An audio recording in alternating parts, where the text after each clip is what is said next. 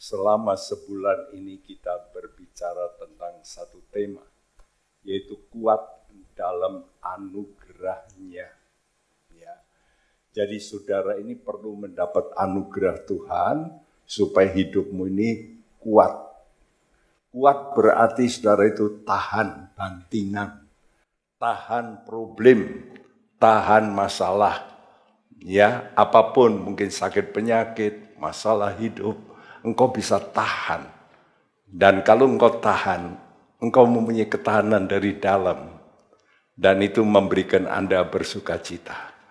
Sudah lihat gambar ini dari ujung kiri di sini ada gambar Yesus yang kecil yang ada di palungan namun dia lalu tersalib ya namun setelah mati dia naik ke sorga dan menjadi yaitu pribadi yang mulia. Dan kita seperti itu, semua kita seperti tadi teman-teman kita yang baru dibaptis, itu namanya lahir baru. Lahir baru, ya. Nah, ingat, suku, mengikut Tuhan berarti mengikut kebenaran. Dan kadang-kadang kita menghadapi kebenaran itu tidak mudah kita menghadapi dunia yang tidak benar.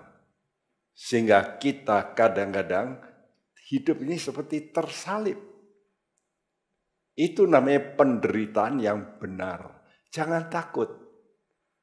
Karena waktu engkau mengalami mungkin bully dari orang, hinaan, engkau nanti akan mendapat kekuatan dari Roh Kudus yang membuat engkau bisa bangkit dalam satu kekuatan yang luar biasa. Dan satu kali kita akan berjumpa dengan Tuhan seperti gambar yang di atas. Kita ini digambarkan sebagai mempelai wanita yang nanti akan bertemu dengan Tuhan, yang bergabung dengan Tuhan kekal selama-lamanya. Tidak lagi ada air mata, tidak ada lagi penyakit, tidak ada lagi kesusahan, dan kita akan hidup bersama dengan Tuhan kekal. Kekal itu artinya tidak terbatas, tidak ada umur lagi, suku, tapi penuh sukacita selama-lamanya. Nah dalam 2 Timotius 2 ayat 1 ada ayat yang berkata demikian. Sebab itu, hai anakku, jadilah kuat di dalam kasih karunia dalam Kristus Yesus. Ya, sebab itu hai anakku. Jadi kalau ada kata anakku yang ngomong siapa? Bapak. Berarti saudara ini perlu ada satu namanya uh, hubungan dengan Allah sebagai Bapak. Bukan saja dengan Allah, tapi dengan orang-orang di dunia ini ada yang bisa membapai saudara. Pertama, orang tuamu sendiri. Tentu itu bapak dan ibu. Jadi saudara ada interaksi. Ya, hidup tanpa interaksi itu hidup yang tidak punya sukacita. Tapi kalau saudara punya interaksi, engkau akan bersukacita karena ada aliran. Aliran apa? Take and give. Ya, engkau take, ambil, tapi engkau juga memberi. Itu namanya hidup. Kalau orang hidup, dia bernapas, mengambil nafas, dia mesti keluarkan nafas. Kalau dia tidak keluarkan nafas, dia akan mati. Kalau saudara makan, setelah makan mesti keluar ke ke jamban. Kalau nggak keluar ke jamban, saudara akan mati juga. Nah ingat ya, jadi dalam kehidupan ini ada aliran. Nah Allah lebih dulu memberikan putranya Yesus. Ya, dan ini kita mesti percaya bahwa Allah ini menjelma jadi manusia. Ini satu-satunya agama di dunia yang mempercayai Allah itu jadi manusia. Jadi saudara perhatikan, kalau ada agama Kristen yang tidak percaya Allah itu jadi manusia, jangan sudah pikir tidak ada agama Kristen yang begitu banyak. Kristen yang tidak mengakui Yesus itu Allah. Ini mesti kita tahu. Ya, di kota Semarang saja ada. Yesus tidak diakui sebagai Allah. Nah kita mesti percaya, Yesus itu Allah yang diberikan kepada manusia oleh karena Bapa memberikan anugerah. Anugerah dari Allah itu bukan keselamatan, tapi penyelamat. Jadi saudara itu diberi penyelamat dalam hidupmu. Berarti saudara diberi pribadi. Nah kalau saudara sudah mendapat pribadi ini, tidak kelihatan, tapi pribadi ini bisa mengontrol hidupmu. Dan pribadi ini akan memberikan roh kudus yang memberikan tuntunan. Sehingga hidupmu tidak lagi bersendiri. Nah ini kekuatan. Saudara ada pendamping yang tidak kelihatan. Tapi nyata. Seperti saudara percaya nggak ada setan? Percaya loh. Kok percaya ada setan? Iya toh? Kenapa? Ya orang bisa diganggu. Setan Anda lihat, tidak. Nah sekarang saudara masih percaya ada Allah yang tidak kelihatan namun menyertai saudara. Ya. Dan kadang-kadang Allah bisa mengirim malaikat-malaikat. Ada beberapa orang yang bisa melihat malaikat. Saya tidak pernah melihat malaikat. Tapi beberapa orang melihat malaikat menyertai saya. Ini kesaksian yang banyak saya alami. Jadi yang pertama, saudara mesti percaya kasih Allah.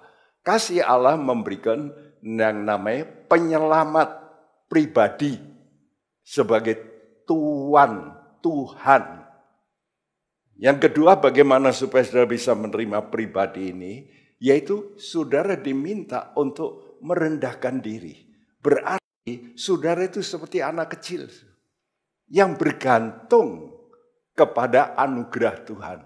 Seperti surat Yakobus 4 ayat 6 berbunyi, Allah menentang orang yang congkak, tetapi memberikan anugerah kepada orang yang rendah hati. Iya, Allah itu benci, menentang orang congkak.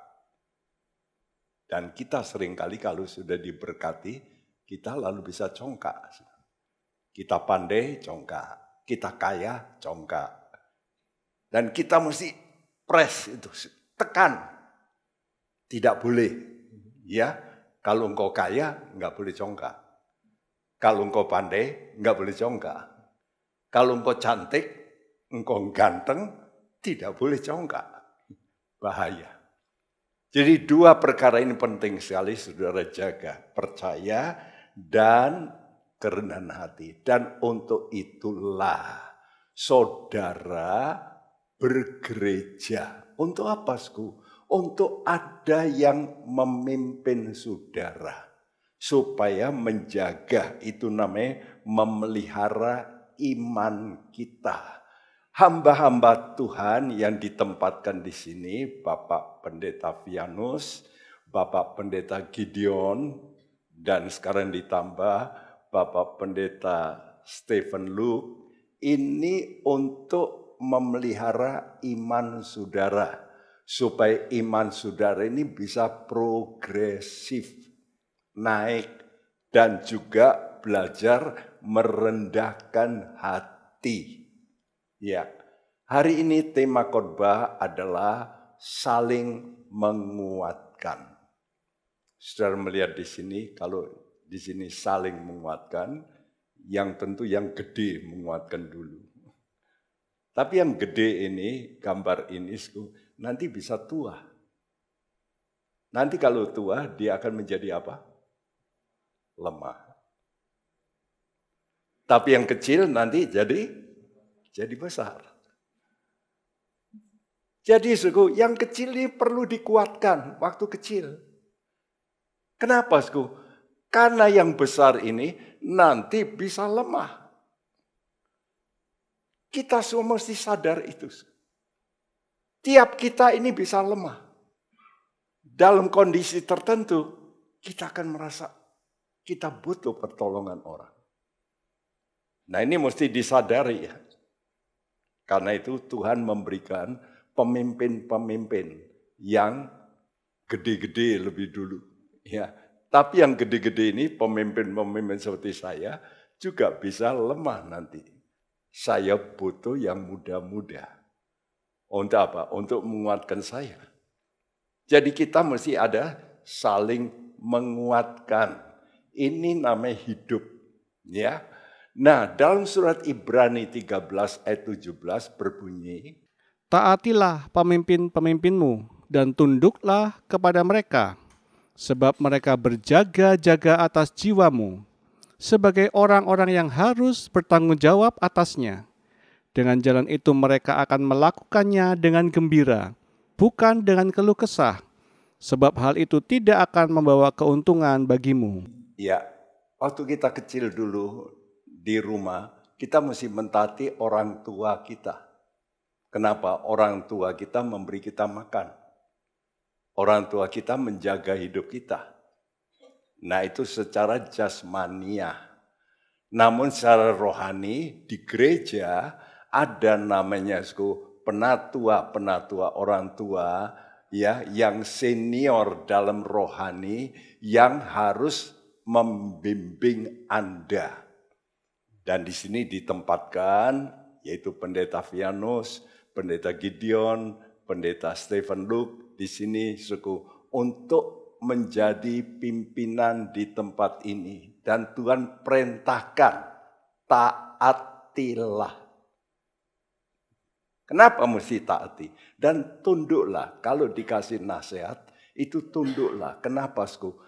Ini penting, Sku. Karena mereka berjaga-jaga atas jiwa Saudara tahu jiwa manusia itu tidak akan mati. Tapi kalau tubuh manusia mati. Orang tua kita menjaga tubuh sampai mati. Seperti anak saya mati, sudah. Selesai. Sekarang saya menjaga anak-anak dari anak saya.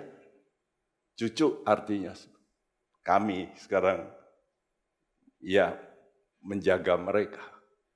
Kami harus menyekolahkan, memberi uang, memberi makan.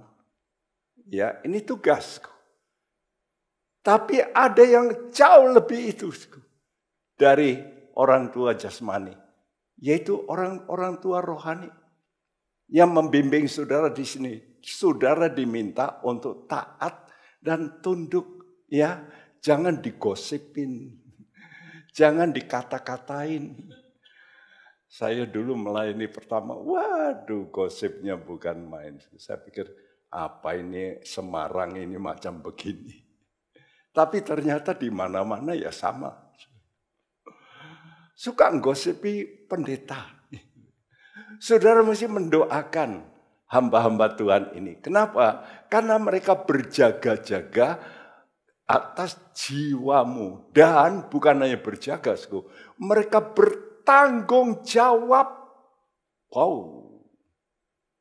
Nanti kami-kami hamba-hamba Tuhan ini nanti akan dimintai tanggung jawab oleh Allah. Ya, berat.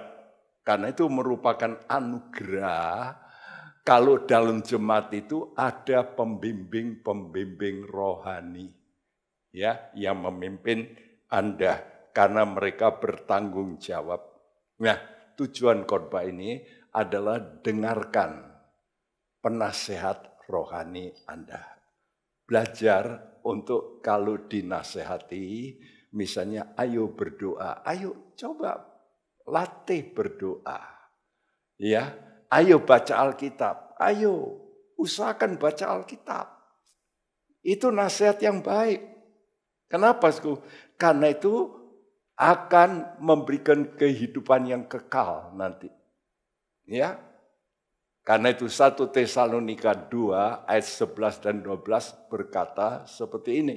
Kamu tahu betapa kami seperti bapa terhadap anak-anaknya telah menasehati kamu dan menguatkan hatimu seorang demi seorang dan meminta dengan sangat supaya kamu hidup sesuai dengan kehendak Allah yang memanggil kamu ke dalam kerajaan dan kemuliaannya. Ya, saudaraku, hamba-hamba Tuhan di tempat ini seperti Bapak, Bapak rohani ini ya, saudaraku.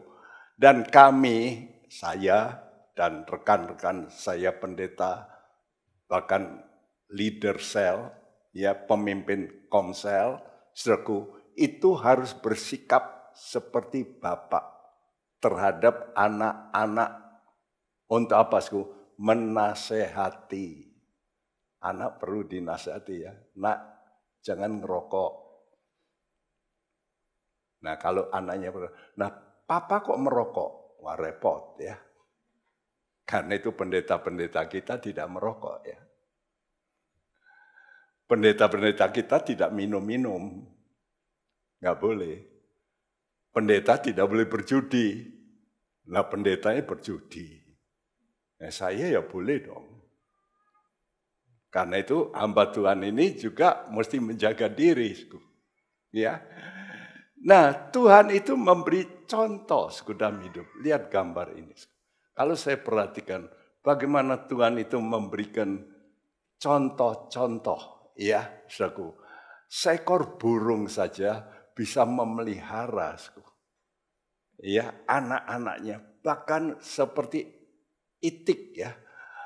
Itu kalau berenang mula-mula nempel semua di atas pundak ini. Itik-itik yang kecil itu nempel di atasnya. Ya, kalau sudah capek. Mereka diajari berenang. Ya, dan hewan-hewan ini menginsafkan kita. Iya, ya. Sampai begitu rupa. Sampai anak-anak burung ini bisa terbang baru dilepas. Apa artinya, Sku? Induk ini tanggung jawab. Waktu saya menceritakan tentang burung Raja Wali, Sku. Waktu musim dingin, mereka itu kena salju. Tapi waktu mereka bertelur, maka mereka mesti mengeram di situ. Tidak boleh terbang 10 menit telurnya jadi beku, mati. Mereka hanya bangkit sebentar, kakinya dinaik kepak-kepak, lalu ngeram lagi. Berhari-hari. Ya, sang jantan pergi ratusan kilometer untuk cari makan, lalu balik di mulutnya ada ikan, dikasihkan kepada anaknya. Setelah itu pergi lagi, ratusan kilometer lagi. Coba bayangkan. Burung-burung punya tanggung jawab. Kita sebagai ibu bapak juga mesti punya tanggung jawab. Jadi jangan cuma bisa bikin anak. Kalau begitu tidak bisa ribut, ditinggal. Itu biasanya ya saya lihat laki-laki setelah ribut dengan istrinya tinggal istrinya yang ui banting tulang. Nah, tulang kok dibanting. Ya remuk. Kasihan enggak? Kasihan ya. Tapi manusia itu lebih buruk daripada binatang. Binatang aja bertanggung jawab. Coba kita renungkan ini. Iya ya. Wow. Ya. Singa-singa itu melatih setahun. Setahun. Baru dilepas. Jadi dapat dibayangkan. Ya, karena itu kita sebagai pemimpin-pemimpin ini mesti mau menasihati dan menguatkan hati jemaat supaya hidup sesuai dengan kehendak Allah. Ini kuncinya. Nah, hari ini kita membaca hubungan antara bapak dan anak dari pribadi yang bernama Paulus dengan Timotius. Ya. Itu ditulis dalam surat 2 Timotius 1 ayat 11 sampai 18. Sebagai pembimbing, suku. Baik saudara yang menjadi pengkhotbah atau supervisor sel SC maupun leader sel, pemimpin sel itu harus memberikan teladan. Wah, kalau teladan itu harus lebih baguslah dari yang diberi teladan. Betul enggak? Namanya bintang pelajar itu pasti angkanya bagus. Nah, begitu juga kalau saudara ingin membimbing orang, saudara mesti menaikkan tingkat kepribadianmu ini jauh lebih di atas yang lain. Kebaikanmu, tutur katamu, kelakuanmu harus meningkat. Dan saya harapkan dari jemaat ini nanti muncul. Ya, yang nanti dapat membimbing orang lain. Ya, supaya sorga ini penuh dengan orang-orang yang benar. Nanti saya akan ceritakan betapa bahagia nanti kalau saudara nanti ketemu dengan Tuhan. Ya, dan ketemu dengan orang-orang yang Anda bimbing. Dan mereka akan berkata, ini loh, ini loh yang membawa saya bisa masuk surga orang ini Tuhan. Dan Tuhan kata, sini, aku beri mahkota kepadamu. Wow. Ini kita mesti renungkan. Ya, dalam hidup ini ada namanya action and reaction. Aksi dan reaksi. Ya, karena itu para pembimbing harus memberikan aksi yang baik. Kalau memberikan aksi yang baik, maka jemaat yang dibimbing ini nanti akan menghormati. Nah, saudaraku, hidup tanpa dihormati itu menyedihkan. Tidak bahagia, walaupun orang kaya. Orang kaya dicemooh. Waduh, sudah Manis sekarang kalau sudah lihat di medsos medsos ada orang-orang yang dicemooh ya. Suku, kenapa suku? Karena hidupnya ini tidak memberikan dampak yang baik. Ngaco dan sebagainya. Tapi kalau sudah memberikan dampak yang baik, sudah akan mendapat reaksi yang baik. Apa? Penghormatan. Wah, penghormatan itu membuat kebahagiaan. Ya. Jadi suku, itulah sebabnya Tuhan berkata sebagai jemaat, saudara menghormati para pembimbing Anda di tempat ini supaya mereka itu tidak patah semangat karena mereka sudah berjerih lelah. Ya, ini penting sekali, saudaraku. Yang pertama, nah ini, ini untuk kita ya, para pembimbing. Jadi saudara-saudara yang ingin naik peringkat pun nanti mesti mempunyai kerinduan seperti ini. Rela menderita bagi Injil. Ya. Kenapa sku? Orang itu harus menderita bagi Injil. Ini gambar Paulus di penjara. Dia di penjara beberapa kali. Dan ini terakhir kali di kota Roma dia dipenjara waktu itu oleh Kaisar Nero. Kaisar yang kejam sekali. Yang juga membunuh istrinya sendiri. Ya, membakar kota Roma. Dan orang Kristen dituduh sebagai pembakarnya. Sehingga banyak orang Kristen dibunuh oleh Kaisar Nero ini.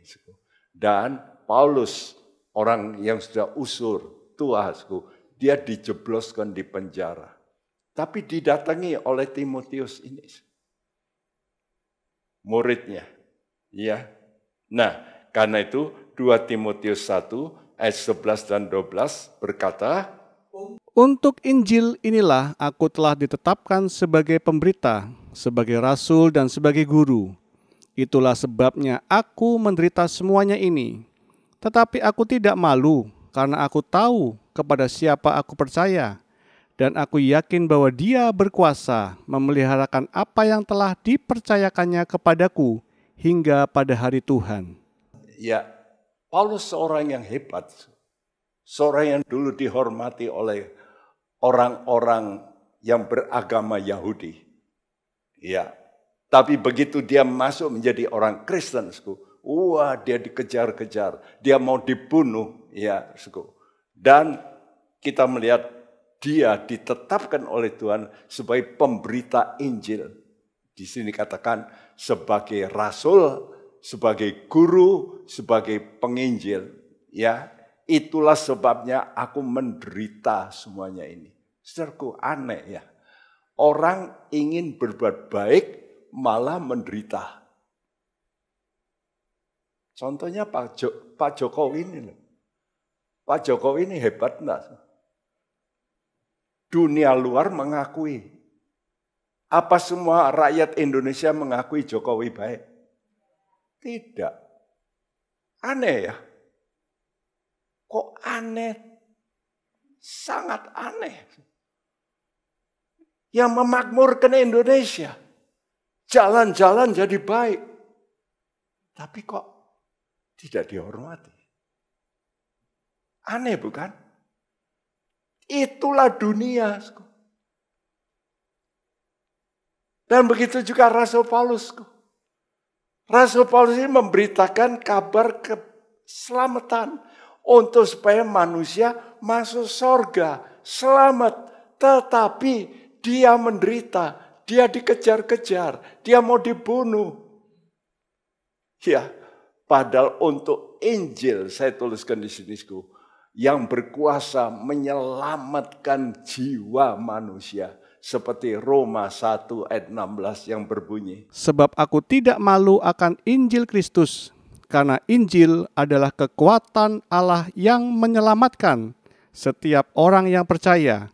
Pertama-tama orang Yahudi, tetapi juga orang Yunani. Yang saya kurung itu bahasa dalam terjemahan Alkitab Indonesia.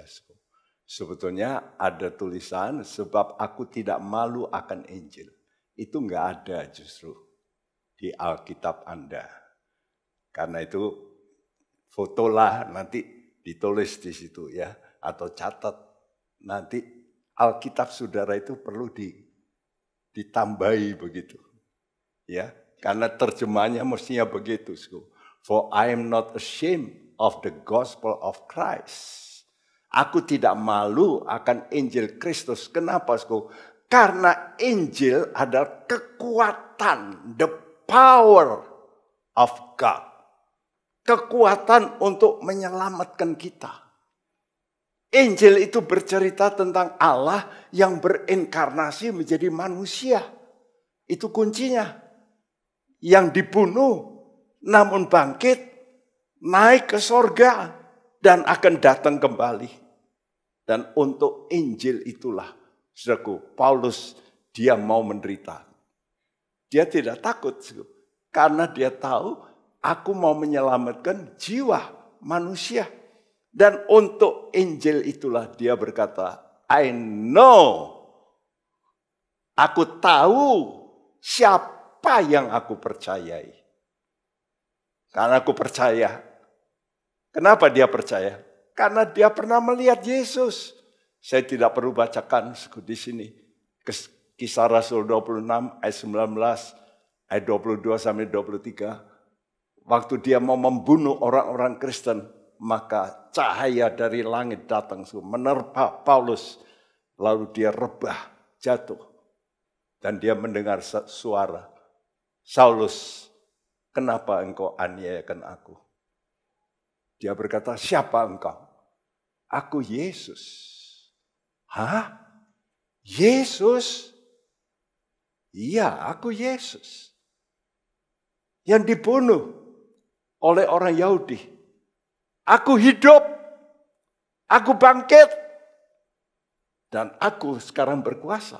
Wow. Sejak saat itu Paulus berkata, wah saya kalau gitu mau ikut Yesus. Dia ini dulu pembunuh. Umat Kristiani dikejar-kejar. Bahkan seorang saleh Tuhan, Stefanus, dia yang membunuh.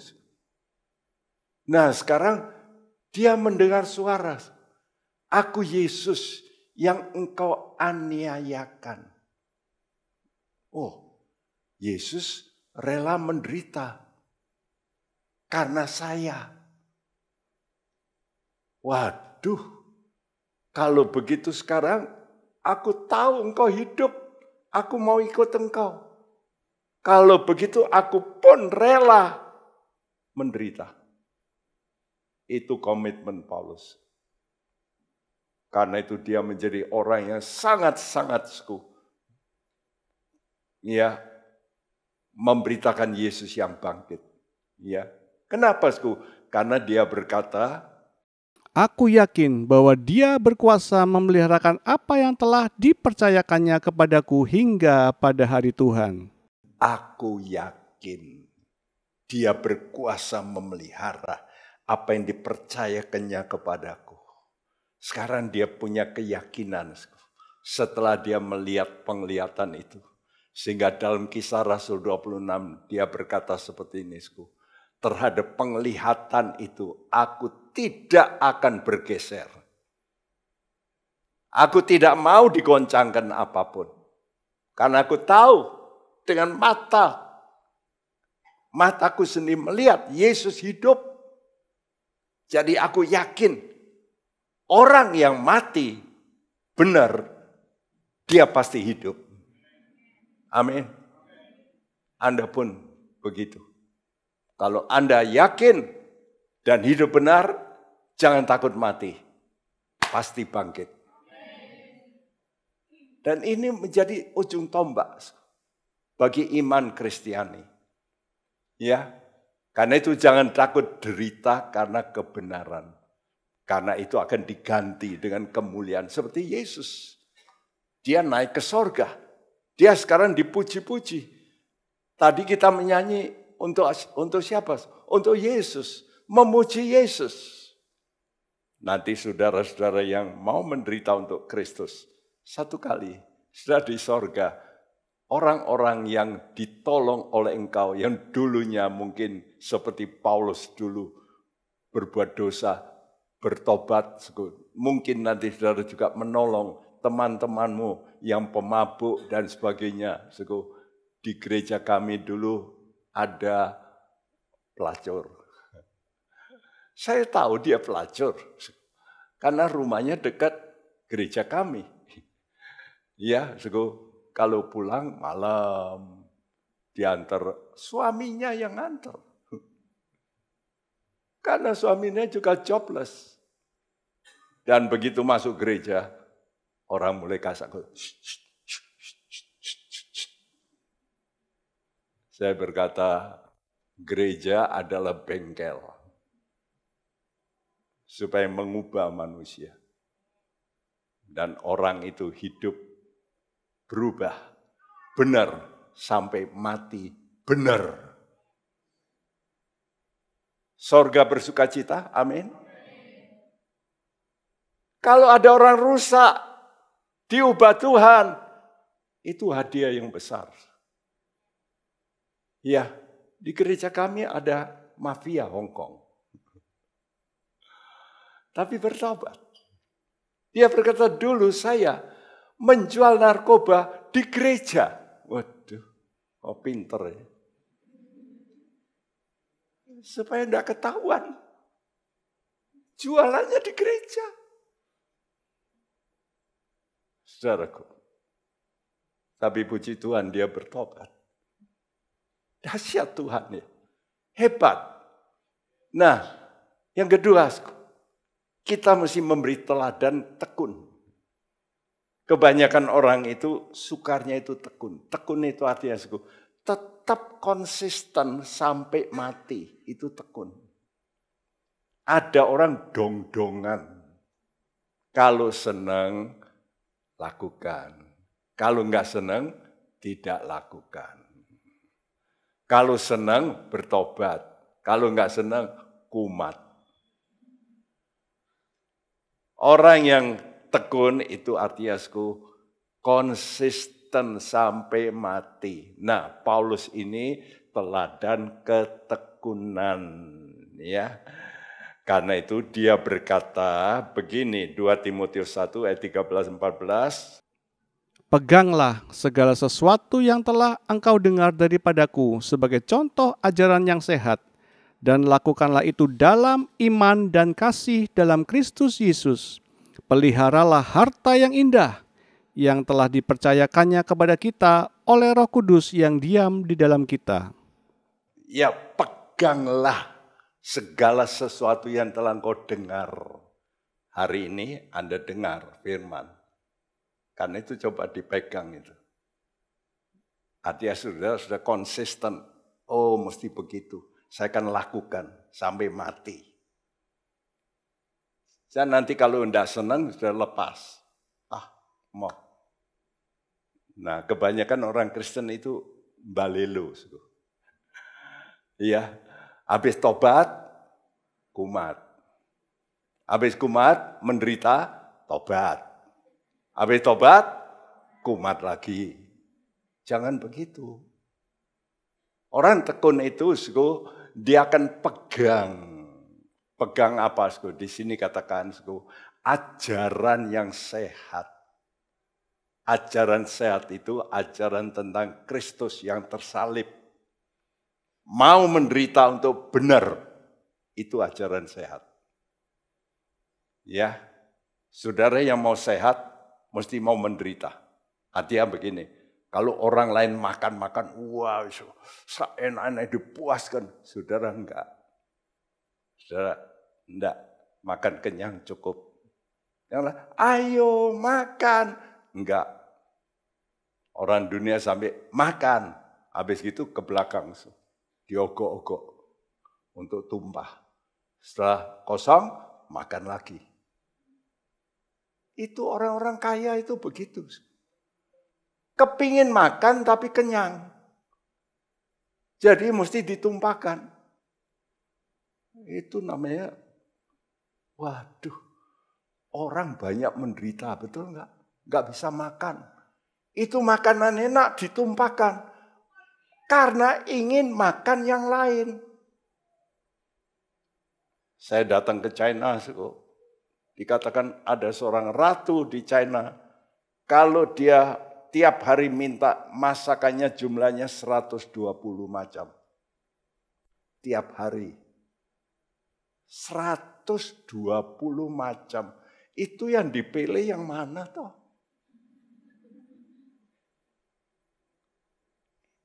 Nah, saya bilang, ini otaknya benar apa enggak? Benar enggak sih? Perutnya seberapa toh? Itu loh, nafsu itu loh. Yang diumbar.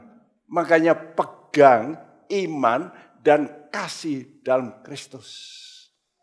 Setelah engkau pegang ajaran sehat ini, Tuhan kata, peliharalah harta yang indah.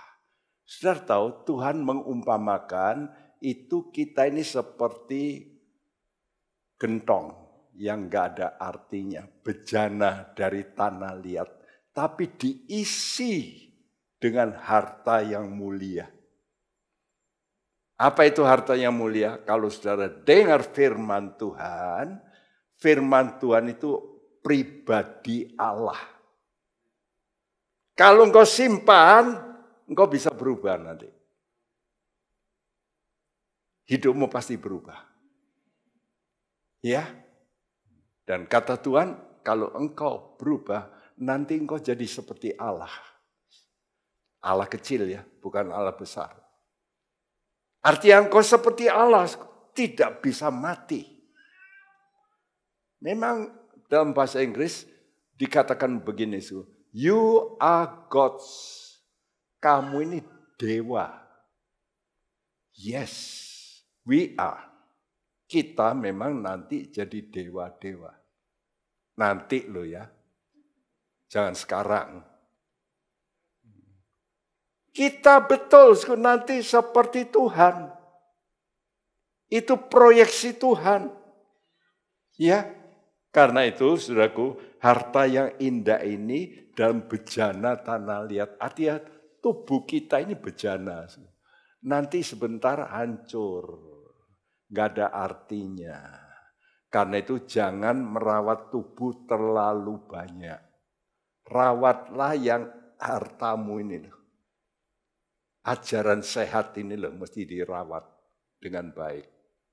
Karena itu disimpan, diingat-ingat dalam 2 Korintus 4 ayat 7 dikatakan, Tetapi harta ini kami punyai dalam bejana tanah liat, supaya nyata bahwa kekuatan yang melimpah-limpah itu berasal dari Allah, bukan dari diri kami. Harta ini yaitu Yesus ada dalam bejana dari tanah liat. Sudah tahu tubuh kita dari dari apa sih? Debu. Nanti mesti kembali ke tanah. Karena itu orang Jawa bilang, coba tanganmu so, diginikan. Keluar apa? Orang Jawa Timur bilang bolot. Dikeluarkan gini, yang keluar itu apa? Bahan dari tanah. Natrium, potasium, ya macam-macam dari tanah persis. Jadi tubuh kita ini kalau diuraikan, dianalisa, persis tanah. Nanti kalau mati di mana? Kembali ke tanah. Jadi apa? Tanah. Jadi tubuh kita ini cuma wadah, cangkang. Tapi saudara punya isi. Isinya yaitu roh dan jiwamu. Nah itu mesti diisi sekarang. Dengan ajaran sehat. Dengan firman. Yang terakhir. Saudara hidup ini saudara mesti menjadi orang yang berbuah, menghasilkan buah pelayanan yang tetap. Fruitfulness. Hidupmu ini penuh dengan buah yang bisa dinikmati oleh orang lain. Berapa banyak orang itu kadang-kadang benci ya. Orang itu mati wailah. Biasanya saudara ngomong gitu sama siapa? Kali-kali preman. Ini betul nggak? seorang itu hilang aja lah dari Indonesia. Bikin kacau aja. Kita jangan begitu ya. Kita ini kalau datang mesti bisa, wah orang lain bersuka cita. Wah itu bagus.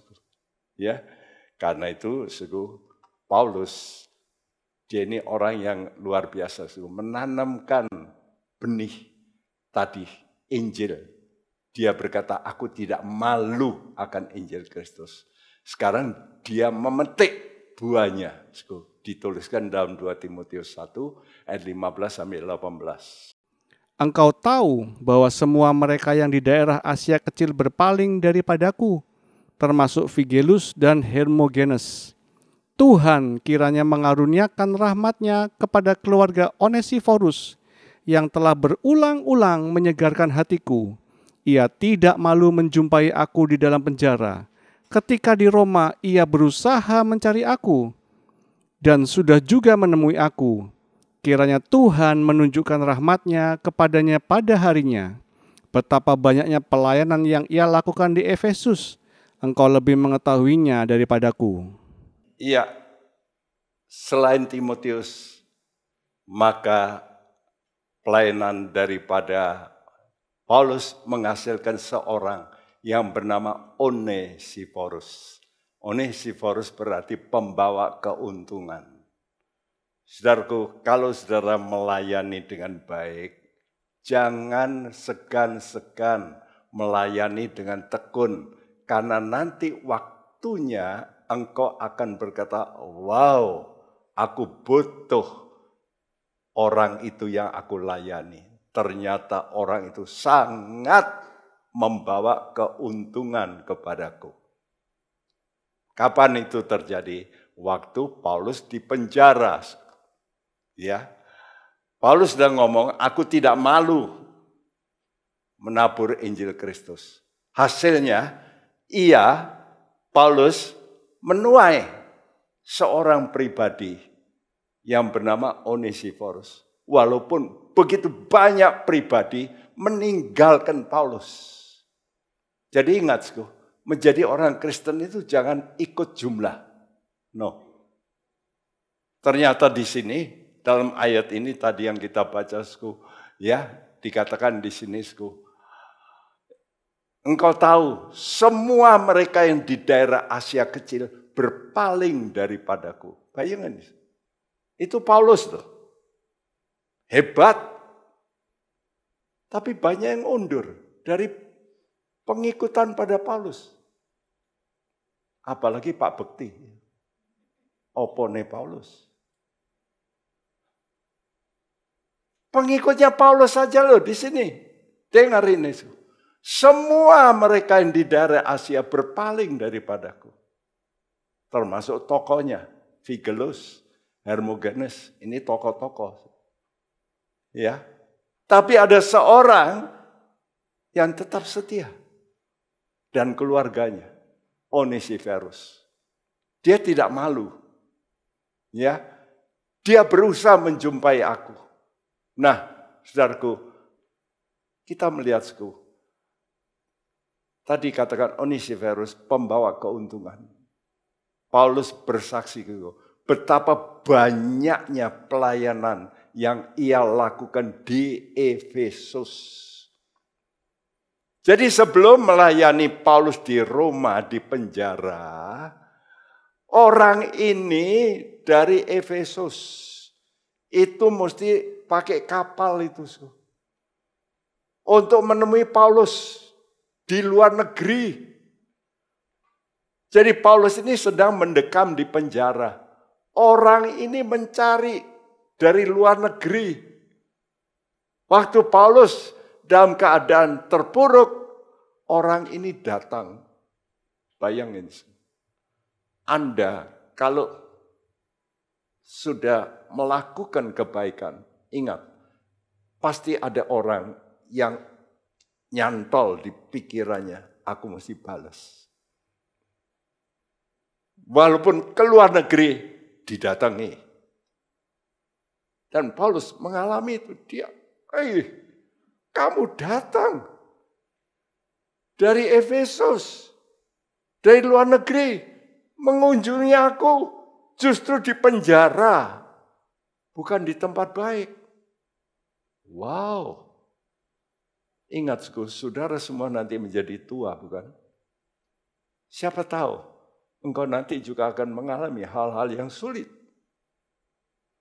Tapi betapa indahnya satu kali orang yang pernah engkau tanamkan Injil itu akan datang kepadamu. Dan dia akan menghibur hidupmu dalam kesulitan. Ingat, bagaimanapun Anda butuh teman orang lain. Yang tua membutuhkan yang muda, karena yang muda nanti jadi kuat ya engkau yang tua seperti saya nanti akan meredup dan kau saling membutuhkan. Yang muda sekarang membutuhkan yang tua untuk membimbing kepada jalan yang benar. Tapi nanti, hari depan nanti, yang tua-tua pasti meredup. Dan yang muda, nanti yang ingat, oh iya, aku dibimbing. Karena itu saya pada hari tua ini, saya tidak pernah minta suku gereja membelikan mobil yang sedan. Ada orang yang memberi. Sekarang sudah tua ya sedannya. Terakhir anak sekolah minggu saya tahun lalu memberikan saya mobil yang saya pakai sekarang, Foxy. Saudaraku, itu anak sekolah minggu. Dia ingat bagaimana dia sekarang jaya, luar biasa kaya. Dan dia masih ingat. Karena papanya dulu diberkati karena pelayanan yang saya lakukan. Karena itu jangan segan-segan menabur yang baik. Engkau pasti menuai nanti. Kalau engkau tabur baik, pasti menuai yang baik. Mari kita berdoa.